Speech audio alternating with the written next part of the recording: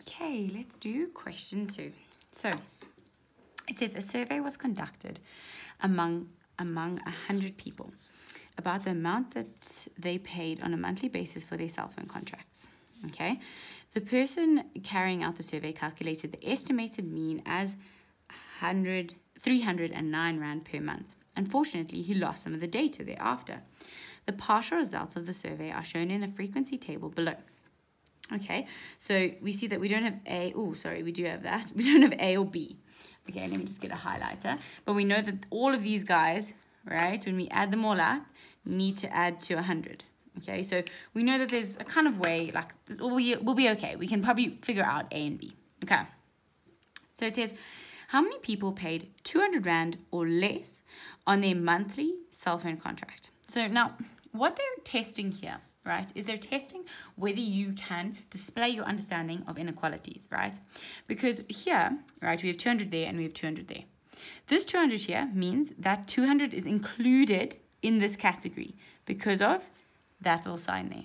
200 is excluded from this category. So 200 Rand or less is the sum of these two, right, of 7 and 12. Therefore, it is 19. Okay, so it's quite a nice um, introductory question, right? So we're going to say 19 as just 19 people. Okay. Um, so 19 people pay 200 Rand. Ooh, 200 Rand or less. Okay, not a problem. Okay, let's now go to 1, 2.2. Now, 2.2 is a much meatier question Okay, and it's one of these ones that sometimes when students see this, they're like, okay, I'm to skip this one. It seems impossible, but it's not. This one is just testing how you can um, display your understanding of simultaneous equations. So it says, use the information above to show that A equals 24 and B equals 16. So basically they want to solve for the unknowns. Okay, but what do we know?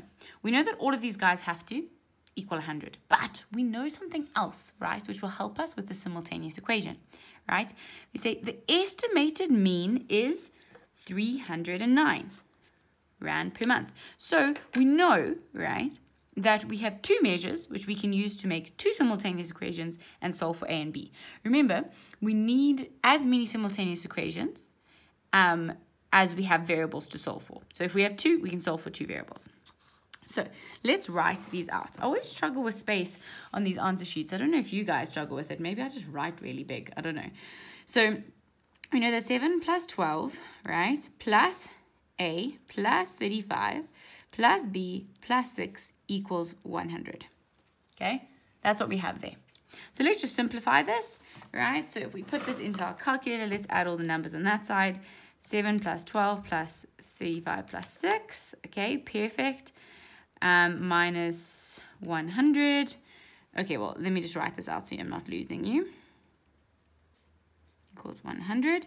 So A plus B equals 40. Which is already good news because we know that 24 plus 16 equals 40. So we know that we're kind of on the right track there, right? Okay, I'm just going to put mine into normal mode again. Um, so we have one simultaneous equation. Sorry, my dogs are doing all of the barking. I'm not sure what's going on. Okay, then we know that the mean equals 309. Okay, so remember you, the mean, so we have 309. Okay, 309 is going to be the, the average, right? And how do we get the average with a frequency table? Well, we know we're going to be dividing by 100, right? Because we have 100 people. It's not a problem. But it's difficult when it's frequency, right? Because we don't have the exact data points. We just have an interval. So generally what we do is you use the midpoint, right? So I'm just going to say a midpoint. So that's 50. I'm just writing in the midpoint of each of um, these intervals to help us find the mean for the overall data set. Okay, so what you say here is you say, okay, I say 50 times 7 plus 12 uh, times 150 plus A times 250 plus 350 times 30. Oh, sorry, I'm being very inconsistent with my um, terminology here. Sorry, with my use of um, order, but I hope you're following. b times 450 plus 6 times 550. Okay. So basically what we're saying is, we're saying, well, you've given us the mean. We have the intervals. The only thing we don't have is the frequency for some of the intervals, right? But what we can do is we can still solve, right? So just make sure that you understand that it's frequency times the midpoint of each of the intervals, right? Okay, and then let's solve so that it's just in the form of A and B um, without sort of all these numerous um, terms in the in the numerator, okay? So I'm just going to put in all the ones that are non-A and B, and I'm just going to solve for those. So 50 times 7 plus 12 times 150 plus, so I'm just doing that one, I'm doing that one, I'm doing that one, and I'm doing that one. So the ones that don't have variables in them, because obviously I can't type the variable into my calculator, right? Um, plus 6 times 550. Okay, so I have 7700 plus 250a plus 450b over 100. Okay, so now let's just quickly do some solving. We can times 100 up there. Um, so we can say 30900. We can then um, subtract this, right? And that gives us 250a plus 450b. So let me just check that I'm doing that correctly. I don't want to be doing things incorrectly. So I'm times that by 100 minus 17 like that. Okay. So this is what I am left with. But from over here, right, we know that um, A equals 40 minus B. So we can just sub that into here, right? In order to solve for B. And if we can solve for B, then we can solve for A. Okay. So we can just say 250, 40 minus B plus 450B equals this. Yeah, you see I'm running out of space. Maybe I'm writing too many steps. I'm not sure. But let's just continue right? So I'm literally just multiplying this out, right? Basic algebra that's going on here, right? Just times that 250 in there. That's what, oh, you see I forgot the B there. Okay, so this you're going to make 3,200 because I'm now going to subtract this 10,000 from both sides. And I'm going to have 200B, right, which gives me B equal to 16. Okay, so we use the mean we calculated the mean with the frequencies. We, we narrowed it down to this here. We subbed in A. So I'm just going to put this sub. We subbed in 1. So this is 2. We subbed in 1 to get it in terms of B. We solve for B. So now, if we go back to 1, we can say, well, A equals 40 minus 16, which equals 24. Okay, so basically what we're showing there is we're showing that we can do simultaneous equations, but we also understand different statistical measures and how we can use them to answer a question and solve for unknowns. Okay, so great question that, but sometimes a little bit tricky.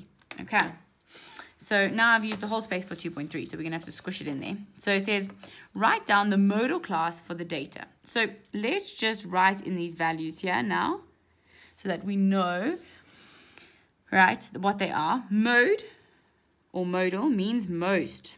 So where are most of the people sitting? Well, most of the people are sitting between 300 and 400, right? Because 35 is bigger than any other frequency.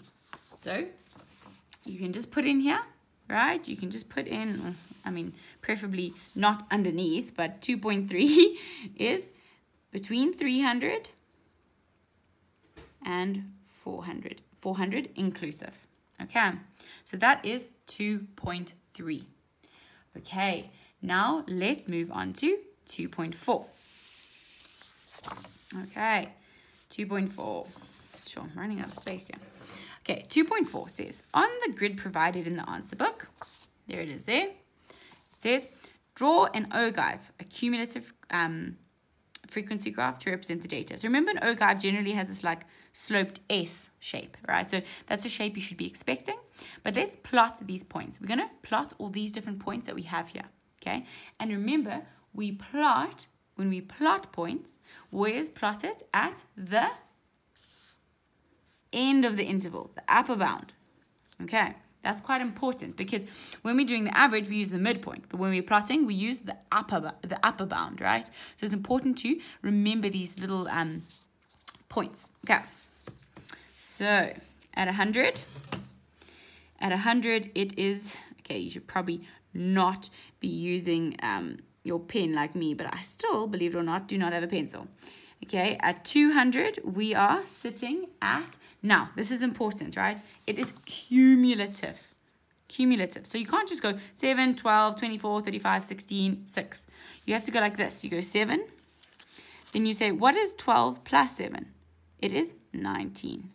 Then you say, what is 24 plus 19? 43. What is 35 plus 43? 78. What is 16 plus 78? 94. What is 6 plus 94? 100. Because remember, it is cumulative. Okay? Cumulative.